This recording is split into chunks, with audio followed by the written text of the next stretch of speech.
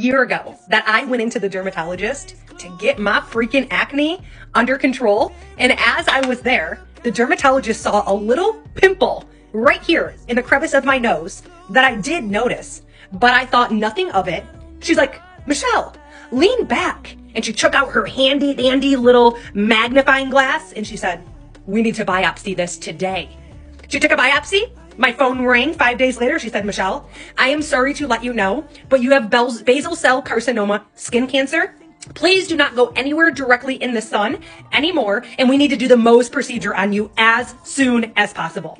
And honestly, from that day forward, I was like, what am I gonna do without a glow? What am I gonna do without the sun in my freaking life? It had such a self esteem boost and it just makes you feel younger and look younger. So I'm super freaking grateful with all my heart and soul that I said yes to Cell Proof, the one and only collagen infused self freaking tanner. And to seal it in, I also use a moisturizer, which is infused with collagen as well, which is not only going to seal that tan in, but guess what it's going to do to those wrinkles?